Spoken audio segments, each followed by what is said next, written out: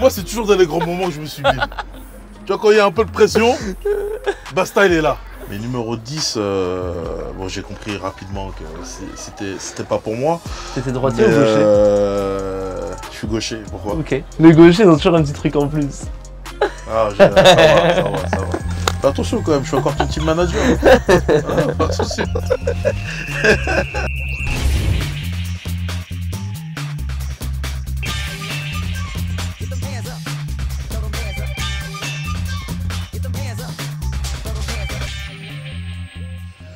Bonjour tout le monde et bienvenue dans le Basta Show. On se retrouve pour ce quatrième épisode. Alors aujourd'hui, on se retrouve avec Enzo, Hervé. Euh, comment tu vas? Ça va très bien et toi? Ça va, ça va. Le soleil, Pas ça mal. change de Brive. hein. Ah là là. Gros respect pour Brive, mais euh, le temps. quand Ah, c'est quand même différent. Alors Enzo, je pose toujours une question à, à tous mes invités. Je l'ai posée à, à Johnny Beatty, à Baptiste, à Pierre. C'est quoi ton rugby? Alors, euh, mon rugby, moi, c'est euh, tout d'abord euh, prendre du plaisir, avoir des, faire des bonnes rencontres. Parce que je pense que quand on arrive dans un club, si on fait des bonnes rencontres, qu'on s'attache avec des personnes, on ne peut que être meilleur. Donc, pour moi, le plus important, c'est l'humain. Que ce soit avec les coachs, que ce soit avec les joueurs. C'est que ça se passe bien, qu'on ait une bonne relation et puis créer des liens, des liens forts. D'accord. Ouais, moi c'est, enfin, moi c'est pareil. Maintenant, ça fait quelques semaines que je répète. Moi, c'est, c'est les liens que tu peux créer dans le vestiaire qui, euh, qui peuvent te permettre à la fin de, enfin, déjà gagner des matchs et après sur le long terme euh, gagner euh, gagner des titres. Enzo, moi je t'ai choisi comme invité parce que je te trouve vraiment très attachant. Tu es quelqu'un de très discret, je te connais depuis cette saison parce que tu as, tu as l'honneur de m'avoir comme, euh, comme, comme team manager euh, à Toulon. Donc j'ai appris à te, à te, à te connaître. Euh, moi, là, hum, je crois que la première fois euh, où, que je t'ai vu, c'est quand tu jouais en Pro D2, je regardais des, des, matchs, euh, des matchs comme ça. Et je t'avais trouvé super, super talentueux. Après, on a joué euh, l'un contre l'autre, mais euh, je me souviens, la, la saison dernière, tu étais venu euh, visiter le, le centre au, au moment, je crois qu'il y avait, euh, il y avait des discussions, tu étais avec ton père euh, d'ailleurs. Voilà, ça c'est mon premier souvenir de toi. Ouais, c'est vrai, ça. J'ai eu le, le privilège de pouvoir te croiser sur le terrain déjà. déjà un honneur. Bon, ça, c'était pas toujours euh, positif pour toi parce que je crois que tu t'étais blessé malheureusement. Ouais, c'était, ouais, là là, ouais, c'est pas un super souvenir, ouais, c'était à Brive. Ouais, Match à Brive, euh, ouais, quand je me blesse la première fois au genou, ouais. ouais, ouais, une action, euh, ouais, je m'en souviens, c'est le talonneur qui me plaque et je me relève pas. C'est vrai, exact. Ouais, donc, euh, donc voilà, j'ai ce, ce souvenir de t'avoir croisé, d'avoir pu le privilège de jouer contre toi quand même. Avec ta carrière, hein, quand même, monsieur, monsieur Bastaro. Ah, commence pas à me flatter. parce- commence pas, commence pas. Mais, euh, mais non, après, euh, ouais, c'est vrai que j'ai. euh, bah, toi, t'as, on va dire, tu as fait pratiquement une grande partie de ta carrière ici. Et tu sais ce que c'est de, de pouvoir jouer ici. Donc, quand je suis arrivé dans ce club, moi qui, qui arrivais de Brive avec mon père, et puis que j'ai vu toutes ces infrastructures et que je t'ai vu, j'ai, vu tous les joueurs qu'il y avait aussi, je me suis dit, c'est, c'est une opportunité pour moi. Ouais, c'est vrai que t'as, t'as- t'as- bah, t'as grandi autour de Brive. T'as grandi autour de Brive, t'as connu que ça, toute ta, jeunesse. Quel impact ça a pu avoir, toi, ce, ce changement? Parce que c'est, euh, on en rigolait tout à l'heure, on parle, euh, voilà, différence de météo. Mais euh, ça n'a rien à voir. C'est le, sud-est au niveau, ne serait-ce que de la mentalité, c'est notre mentalité ici. Comment comment tu arrives là, là, depuis 6-7 mois que tu es là, à t'adapter? Mais euh, je t'avoue que ça a été euh, difficile au début parce que bah oui, euh, les premiers mois on se pense un peu en vacances, il n'y avait pas de match, c'est la pré-saison, il fait beau tout le temps. C'était une saison particulière avec la Coupe du Monde, Voilà. match, coupure, ouais, c'est- c'était c'était pas facile. ouais. Ça a été un peu, un peu compliqué.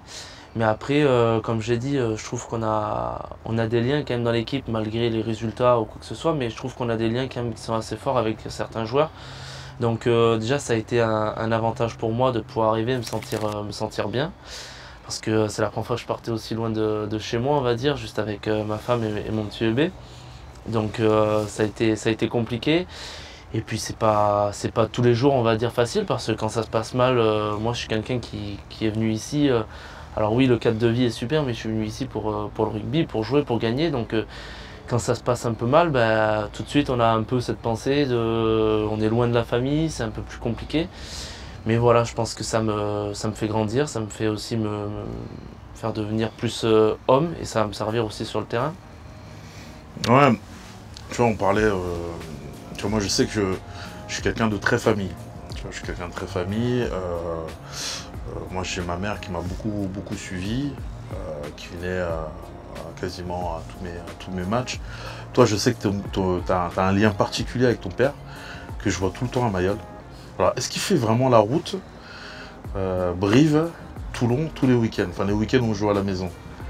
Euh, non, maintenant il- l'a fait quelques fois au début, mais après euh, maintenant il prend l'avion. Ah, Bordeaux- Bordeaux-Marseille. il fait quand même. euh, Ouais, il va à Bordeaux, donc déjà il y a deux heures de route, et après il y a Marseille, il y a encore une heure, donc euh, Et ça, tous les matchs à la maison? ouais, tous les matchs à la maison, et après à l'extérieur, quand je joue, il vient à tous les matchs. D'accord. C'est- C'est c'est ton papa qui t'a qui t'a donné euh, l'amour du rugby, qui t'a amené au, au rugby? Il a, il, a, il a pratiqué lui aussi? Ouais, ouais bah déjà j'ai grandi dans une famille, on fait tous du rugby dans ma famille. Euh, et puis après mon père, ouais, il a joué, euh, il a joué, il a joué jusqu'en Fédéral 1, il a fait 4 ans en Fédéral 1. Et puis euh, ouais, c'est lui qui m'a donné vraiment cet amour parce que quand j'ai commencé à 4 ans, c'est lui qui m'a entraîné. Il m'a entraîné jusqu'à l'âge de mes 15 ans que je parte à Brive. D'accord. Après, il a arrêté d'entraîner pour pouvoir bah, sacrifier pour moi, pour pouvoir m'emmener toutes les semaines aux entraînements et aux matchs. C'était quoi ça? C'était parce que tu tu m'as dit que tu venais d'un d'un petit village à, à côté, mais c'est ça représentait quoi 2-3 heures de route? Bah, l'aller-retour, il y en avait pour 2h30 ouais, à chaque fois. Combien de fois par semaine ça? Bah, 4 fois avec le match, 4 fois par semaine. Eh ben. Ouais. Je sais que ma mère elle aimait bien me suivre, mais par contre faire 4 allers-retours dans non, elle aurait pas pu. ouais, ouais, il, euh, euh, ah ouais, comme tu dis, il, il s'est sacrifié pour toi quoi. ouais, il a tout sacrifié pour moi. Donc en fait, euh, je sais que quand on est jeune, j'avais des. Bah, mes copains qui étaient dans mon village ou quoi, t'as toujours envie de sortir un peu avec eux, faire des, des soirées et tout, mais à un moment donné, par le, par le respect que j'avais pour mon père, euh, je pouvais pas en fait euh, bah, gâcher tout ce que lui, euh, même pas par rapport à moi, mais par, par parce que lui, tout ce qu'il avait fait pour moi, je pouvais pas le gâcher parce que j'avais envie de faire une soirée. Alors j'en faisais, bien sûr, quand on avait des moments libres, j'allais sortir avec mes copains, mais, mais à un moment donné où il fallait par, par cette éducation qu'il m'a donnée, par le respect que j'avais pour lui, euh, je pouvais pas tout gâcher parce que voilà, j'avais pas envie. Ah, moi, ça, ça, me, parle parce que moi, je me souviens que quand je suis rentré euh, au sport études, la Canal, au pôle, au pôle espoir, euh, bien sûr, mes parents ils étaient super fiers, mais ça avait un coût. Ça avait un coût et, euh, et quand je suis rentré à, la Canal, c'est là que je me suis dit que je voulais devenir pro parce que au-delà de l'investissement et l'énergie que mes parents mettaient, euh, financièrement, je savais qu'ils faisaient un gros sacrifice pour moi. Donc euh, je me disais qu'il fallait pas que je me loupe. Quoi. Donc euh, c'est pas que je me mettais, que ça m'a mis une pression, mais c'était, tu vois, c'était un moteur. Tu vois, quand, tu dis que quand tu es loin de la maison, à l'internat, etc., quand tu as des moments un peu difficiles, moi je sais que c'est des choses que je me répétais dans, dans la tête, tu vois, pour, entre guillemets, m'aider à tenir, même si c'était pas, c'était pas le bagne. Je vivais quand même un, un rêve, euh, c'était pas donné euh, à, tous les, à tous les jeunes de mon âge euh, de pouvoir bah, faire les cours et à côté, en fin d'après-midi, jouer au rugby. Donc, tu vois, là, ce, ce, ce côté-là, il, il me parle. Et c'est vrai que tu m'as dit que oui, dans, tu disais que dans ta, dans ta famille, vous êtes une famille de rugbymen, rugbywomen aussi, parce que tu as ton cousin euh, qui joue à Aurillac Ouais. maintenant, Anderson, et tu as Carla qui joue à Carla Nessen, qui est capitaine de l'équipe de France à 7, Ouais. me semble, Ouais. qui a fait euh, quelques tournois à 15, Ouais. et qui, là, qui est maintenant consacré qu'au qu'au 7 et qui, qui se dirige vers, euh, vers les JO. Ouais, ouais, j'ai. euh, bah, c'est vrai, comme je t'ai dit, on a une famille qui est très euh, rugby, donc. Moi, j'ai joué, euh, j'ai joué euh, depuis l'âge de mes 5 ans euh, avec, avec Carla. On a toujours été parce qu'il y avait cette règle. Quand les filles faisaient du rugby, elles avaient le droit de faire un an de plus, même si elles étaient plus vieilles d'un ouais. an, elles avaient le droit de faire un an. Donc, j'ai toujours joué avec Carla. Donc, voilà, on a grandi tout le temps ensemble. C'est mon père qui nous entraînait. Voilà, et puis j'ai eu Anderson qui était plus vieux que moi et qui était déjà à Brive, qui était au pôle à Talence aussi, donc c'était un exemple un peu pour moi, on va dire, dans la famille, parce que déjà on joue au même poste à la base. Euh, et puis quand j'étais petit, mon, seul moment vraiment où j'étais satisfait, c'est quand Anderson rentrait et j'allais au stade avec lui dans notre village et je lui renvoyais les ballons, il allait buter, je lui renvoyais les ballons. Euh, je le regardais pour buter, pour moi, en plus c'est quelqu'un qui qui a un très bon jeu au pied, donc pour moi c'était euh, vraiment, il y avait des joueurs comme Johnny Wilkinson, Dan Carter, et après il y avait, il y avait lui, parce que pour moi voilà, c'était comme on est quand même une famille qui est proche, Ouais, c'était Euh, c'était ton, ton idole. ouais voilà, c'était vraiment quelqu'un sur qui je me suis, je me suis appuyé. D'accord. Et euh, quand c'est comme ça, moi je sais que moi, euh, moi j'ai un cousin qui était, euh, qui était footballeur. Et euh, je sais quand on, quand on avait, euh, quand j'avais la chance de l'avoir au téléphone, parce que c'était rare, c'était rare, il m'encourageait tout le temps. Est-ce que c'était pareil euh, ça entre vous? Ouais, c'était pareil, surtout qu'Anderson, il a eu un moment difficile à, à Brive, où euh, voilà, il n'a pas eu forcément beaucoup de temps de jeu, il a joué un petit peu quelques matchs un peu compliqués. Je me souviens, il a fait un match, euh, son premier match pro, c'était à Toulon, à l'époque de euh, ben, Matt Guito et tout ça, ben, tu, y- tu étais. Il y avait Oui, oui, j'ai- Voilà, voilà, à la grande, à mon époque. à la c'est- grande époque. C'est bon, j'ai- accepté que j'étais vieux. ouais. Donc ouais, son pré-match, il a pas eu trop de temps de jeu. Donc quand moi j'ai j'ai réussi à faire quelques matchs, et on- souvent il m'appelait pour me dire continue, c'est bien. Euh, tout ce que lui en fait le club lui avait reproché, il essayait de me le donner pour pas que ça soit justement euh, ben, je, je- je l'évite au maximum. Donc euh, ça a été vraiment pour moi quelqu'un d'important aussi. T'as eu une enfance un peu, un peu différente parce que tu fais partie de la, des- de la communauté des gens du voyage, c'est ça? Ouais, ouais, j'ai une enfance, on va dire, qui n'est pas banale, on va dire, pour, pour tout joueur que j'ai pu rencontrer au rugby. Parce que voilà, comme tu l'as dit, j'ai grandi dans une famille la communauté des gens du voyage. Euh, ce qui dit donc euh, communauté un peu particulière où les gens nous voient un peu particuliers. Et euh, j'ai voyagé en étant petit jusqu'à l'âge de mes 9-10 ans même. voilà, a- mon père après a commencé à travailler vraiment dans mon, dans mon village où on s'est sédentarisé, mais on a, on a voyagé beaucoup en étant petit. Mon père travaillait un peu à l'extérieur. Et donc euh, ça a été compliqué. Bah, comme on bougeait, il fallait à chaque fois s'inscrire dans de nouvelles écoles. Et à chaque fois, bah, on restait pas longtemps. Donc les gens, on n'arrivait pas forcément à se faire trop trop de, de copains parce que les Voilà, gens... pour, euh, pour créer des liens. C'est ce que tu disais en plus au début, c'est que toi, tu es quelqu'un qui a besoin de créer des liens avec, avec les gens. Et, euh, et là, bah, si tu restes, je sais pas moi, 2, 3 mois, 4 mois, c'est compliqué. hein. Ouais, c'est compliqué. Et puis après, on- les gens avaient aussi des a priori parce que bah, voilà, il y avait des les gens du voyage qui arrivaient, donc faut faire attention. Donc euh, ça, a été, euh, ça a été compliqué un peu. Ça a été aussi très bien parce que euh, bah, je voyageais avec ma famille, on était toujours ensemble. On voyageait, dans des beaux endroits aussi, donc c'était c'était plutôt bien. Mais euh, voilà, ça a été euh, aussi, je pense, ça nous a, ça nous a forgé Ouais. ça nous a forgé dans le fait que bah, même dans les moments un peu plus difficiles, bah, on se dit que pour rendre fier notre famille, notre communauté, parce qu'il n'y a pas beaucoup de, gens qui sont professionnels, et ben il faut s'accrocher, continuer. Euh, les moments difficiles qu'on a vécu en étant jeune, bah, même si des fois c'est difficile au rugby, euh, c'est pas, pas grave, il n'y a, rien de- a rien de grave, il y a des gens qui passent par des plus gros problèmes, donc, euh, donc voilà, c'est euh, c'est une source de motivation. Il y a pire qu'un match perdu. Quoi. Il y a plein de choses qui se passent autour de nous et qui nous permettent de, de relativiser.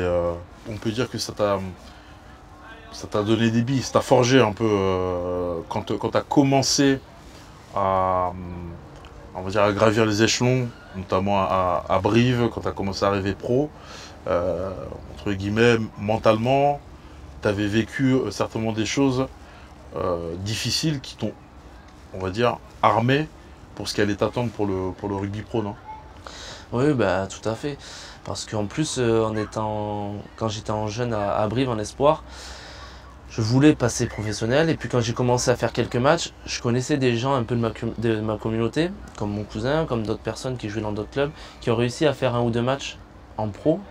Mais après, par, euh, par notre, euh, on va dire, notre vie un peu à part, eh ben, ils n'ont pas forcément réussi. Et moi, quand j'ai réussi à faire ces premiers matchs, je me suis dit, bon, maintenant, qu'est-ce que je veux faire? Est-ce que ça va me servir à, bah, à y arriver, à me maintenir dans ce niveau-là, ou est-ce que je vais faire un peu comme les autres, sombrer et puis fini? Et euh, je pense que ça m'a forgé, ça m'a donné, euh, Est-ce que le fait, en fait, tu vois, l'objectif de, de jouer professionnel, pour ceux de ta communauté qui ont, qui ont, réussi à le faire, c'était pas en gros le, but, pas le but ultime, c'était le but pour euh, voilà, montrer aux gens autour et que hum, trouver une autre motivation après, ça n'a pas été trop difficile ou ça a été de suite Bah ça, on va en revenir un peu au sujet qu'on avait tout à l'heure sur mon père. En fait, mon père a été tellement... euh, euh, dans mon éducation, il a été euh, top. Enfin, il a jamais été mais, dur avec moi. il- Mais par contre, niveau rugbystique, il a toujours été très très dur. Quand il m'a entraîné, il a toujours été très très dur. Donc quand je suis arrivé à être professionnel, bien sûr, pour moi, c'était un peu le but ultime d'être professionnel. Mais tout de suite, il a été derrière moi et il m'a dit... euh, et après quoi? et voilà, tu vas t'arrêter là parce que sinon demain c'est fini. Tu fais une bonne saison, demain tu joues plus, c'est fini. Donc en fait à chaque fois, et c'est encore, euh, c'est peut-être même un peu fou parce que voilà, maintenant je suis, je suis professionnel, il y en a des coachs, des staffs, mais je sais qu'il enregistre, il vient me voir, il enregistre tous les matchs, il rentre chez moi, il regarde le match, il m'appelle le lendemain, il me dit ça ça a été, ça ça a pas été. Et je le sais dans son regard, si j'ai fait un bon match, il me le dira jamais. Par contre si, j'ai- si je suis passé à côté, Ouais. je Et ça, euh, cette relation aussi, à double, ça, c'est à double tranchant aussi. Parce qu'on peut le voir euh, bah, dans d'autres, on va dire, euh, familles euh, du rugby, même du sport. Euh, cette relation. Est-ce que vous arrivez à vraiment à, à- tu vois, quand, quand tu rentres, on va dire, chez toi, chez ton père, bon, ok, vous parlez rugby, mais est-ce que, voilà, à un bout d'un moment, tu lui dis, on coupe, là, on passe vraiment un moment famille? Parce que je sais que ça, ça peut être euh, compliqué. Ben, on va dire que euh, au début ça a été dur et ça l'est encore des fois parce que il est passionné. Mm. Il est passionné par le rugby, il a toujours fait ça, il a vécu par ça parce que il a vécu aussi des bons moments, des moments très forts. Je sais, il a été champion de France en, en fédéral 3, euh, voilà, c'était des niveaux en dessous, mais ça crée quand même des liens. Donc il a ce Ouais. truc, il est, il est vraiment euh, accro au rugby. Mais euh, mais il y a un moment où il le voit, j'ai pas besoin de lui dire, ou quand je commence à plus répondre à certaines questions. Ouais, ouais, ouais. Je vois de quoi tu Je veux tourne parler. la tête ou je me lève, là il comprend que c'est bon, le rugby j'en ai 7 jours sur 7. Il y a un moment où on a besoin de couper et je pense que notre famille elle est là aussi pour ça. Quand tu t'es présenté euh, au club, est-ce que tu as eu des, euh, des discussions euh, tu vois, sur, sur, ton, sur ton enfance avec des joueurs qui pouvaient venir de l'étranger? Comment eux, ils, Parce que nous, bon, moi je j'ai- connu des gens du voyage, euh, donc je sais, je connais votre mode de vie. Mais euh, tu vois, par exemple, un Sud-Africain, un Fidjien, un Néo-Zélandais, quel a été leur, on va dire, leur retour, leur œil sur, sur ta jeunesse? Bah, J'en ai parlé avec quelques mecs dans le vestiaire euh, parce que bah, justement après ma présentation, ils m'ont posé quelques questions. Et euh, c'est vrai que la plupart ils ont été un peu surpris. Surpris parce que euh, pour eux, euh, on va dire dans leur ville à eux, il y a, il y a sûrement aussi des, des gens du voyage, mais qui n'ont pas du tout la même, euh, le même mode de vie ou la même mentalité peut-être que, que je peux avoir. Et pour eux, ça les a surpris en fait euh, du fait que euh, j'arrive à garder ce côté, euh, on va dire, bah, professionnel, enfin normal, on va dire, Ouais, Plutôt plus structuré, on va dire. plus structuré, et que j'arrive aussi à avoir ce côté avec ma famille où euh, bah, je garde le même mode de vie que j'ai eu en étant, en étant petit, parce que ça, je veux pas le, je veux pas le renier, je veux pas le, c'est quelque chose que je garderai toute ma vie. C'est pas quelque chose que j'ai envie de cacher, c'est pas quelque chose que, tu vois, je veux plus pratiquer.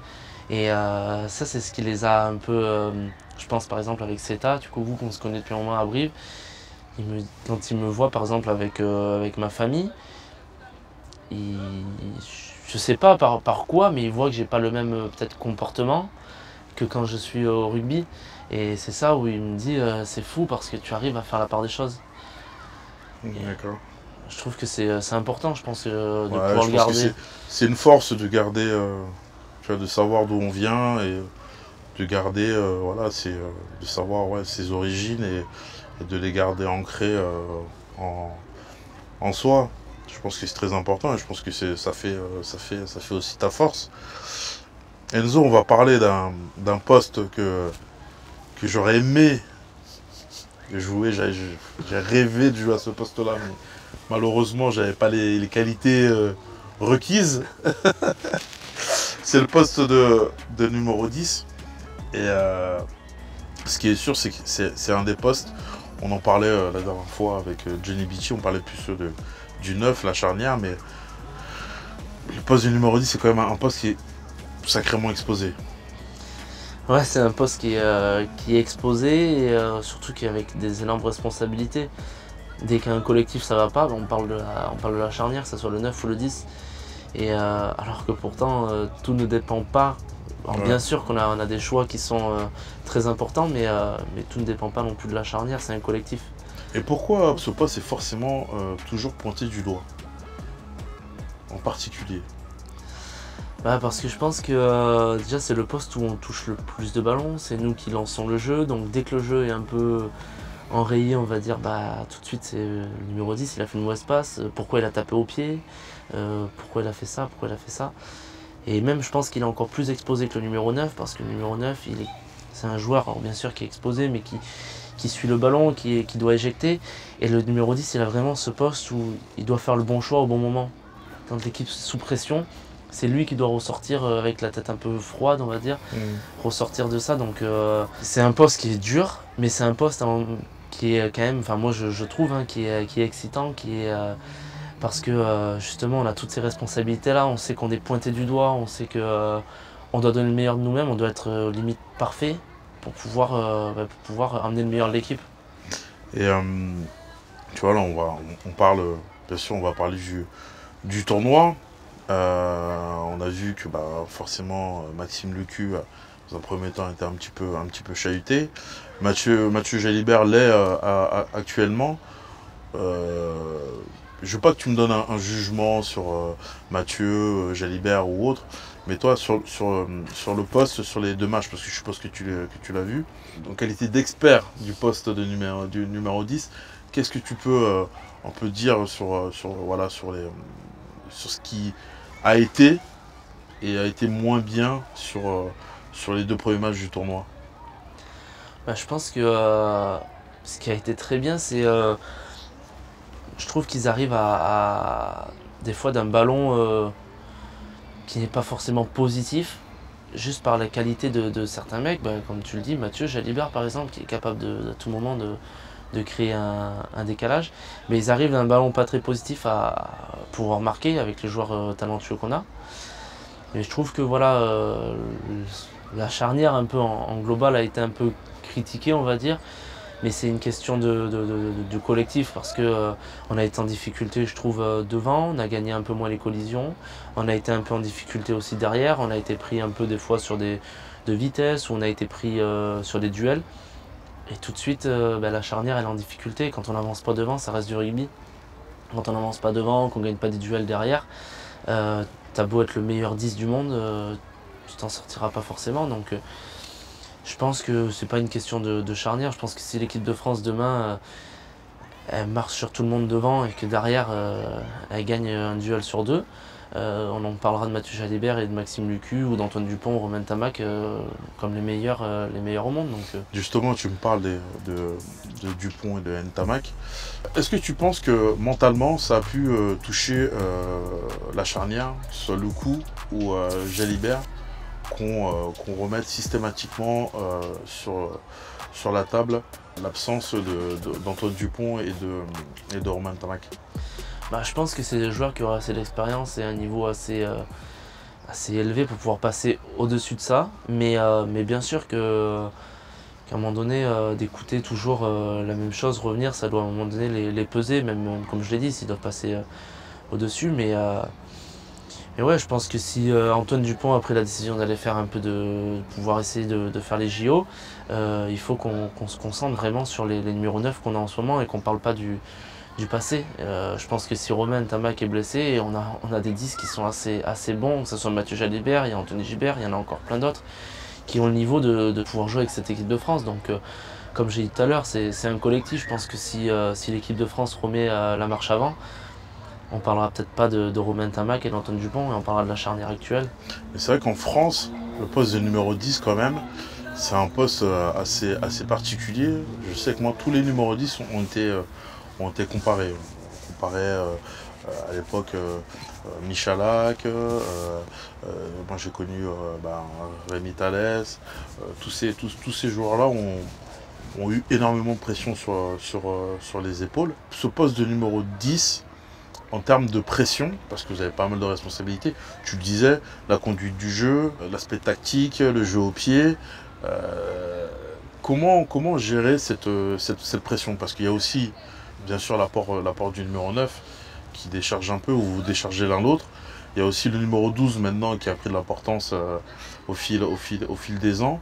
Mais toi, par exemple, toi, qu'est- qu'est-ce que tu fais pour un peu te, te décharger un peu de, de toute cette pression euh, avant les matchs? Bah, Je pense que, enfin moi je parle pour moi, mais c'est une source de motivation, on va dire, la, la pression qu'on a tout autour de, de nous. Peut-être que je jouerai un autre poste, je, je serai peut-être, comment dire, euh, moins, moins performant parce que j'aurai peut-être moins de pression. Je pense que j'ai besoin de cette pression pour pouvoir euh, me motiver à aller chercher euh, bah, ce, qui est, ce qui est le plus dur, on va dire, en match quand on a des moments difficiles. Cette pression, elle me permet bah, d'aller, d'aller chercher peut-être des victoires avec l'équipe qu'on qu'on va chercher à la dernière minute. Tu vois, c'est vraiment cette, cette source de motivation.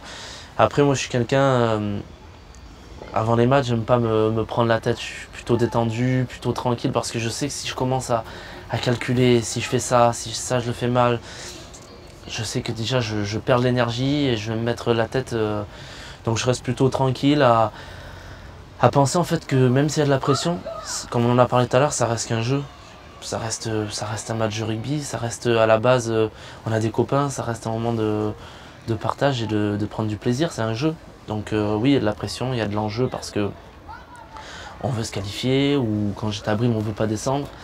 Mais, euh, je pense que si euh, cette pression elle nous mange en fait, ça ressort en fait tout notre côté, notre talent qu'on peut tous avoir.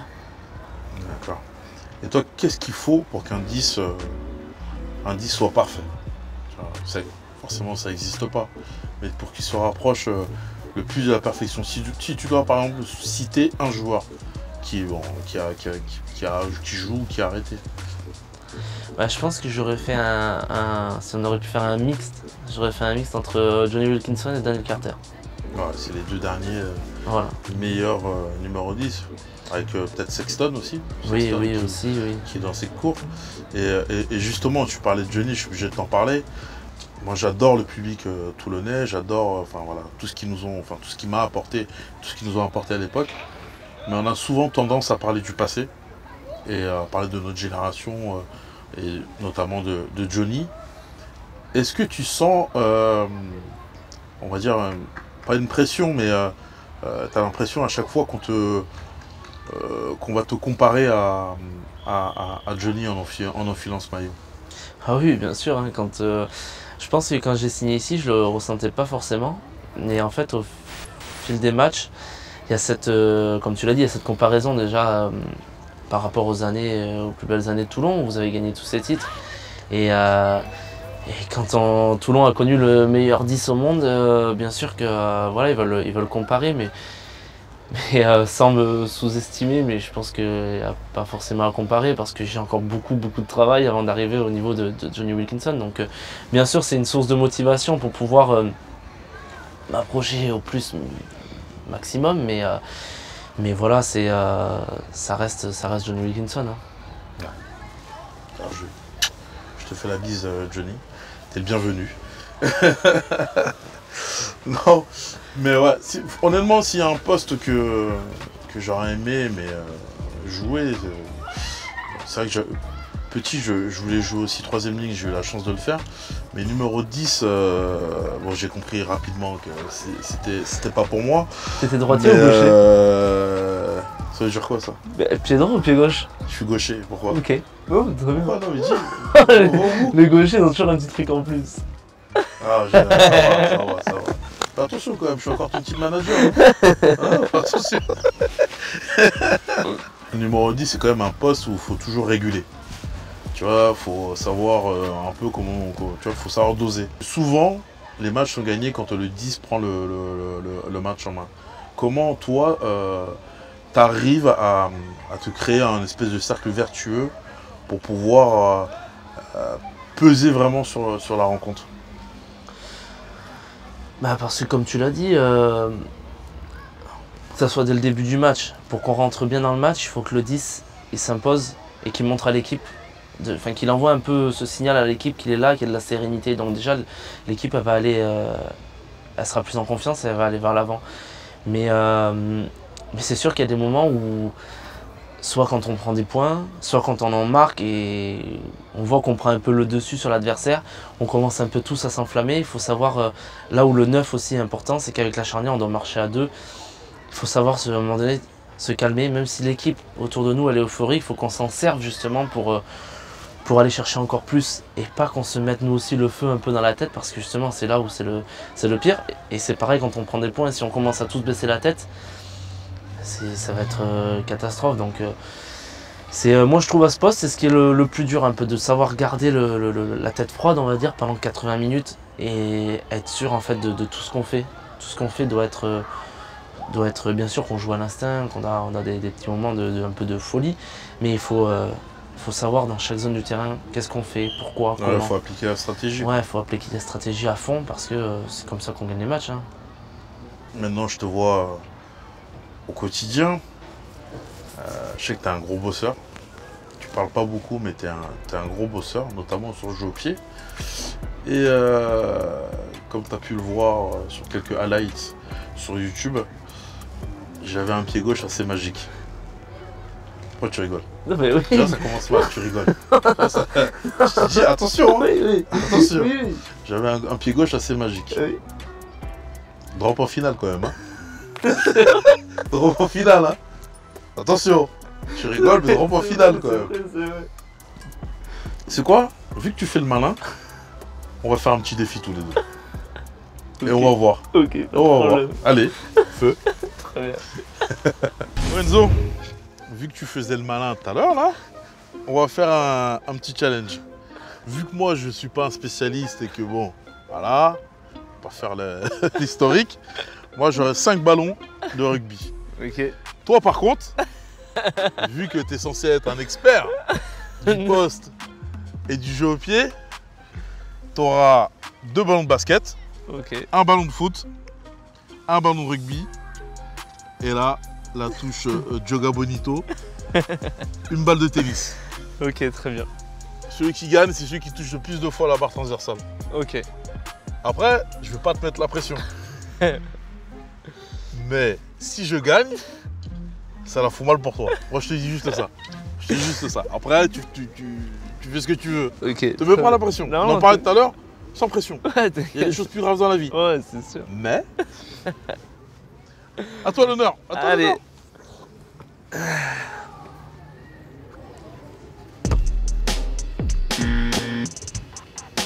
T'as stressé ou pas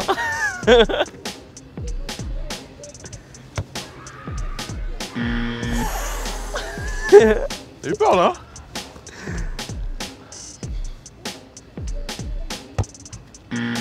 Il vole aussi Ah. souvent. Relâche ta jambe. Relâche ta-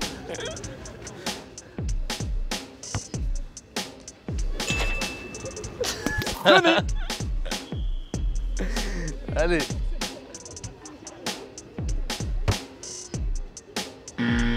Non Ah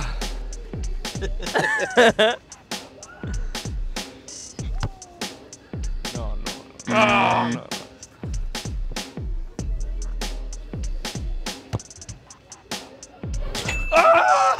Ah, égalité Eh, ballon de rugby tout de suite. euh. tu stresses Mathieu ou quoi Je stresse pas, moi.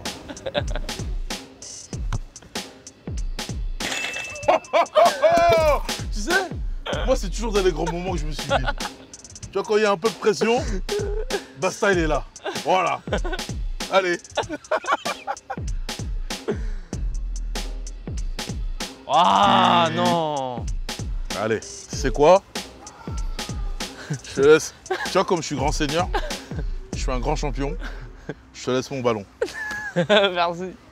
pour égaliser.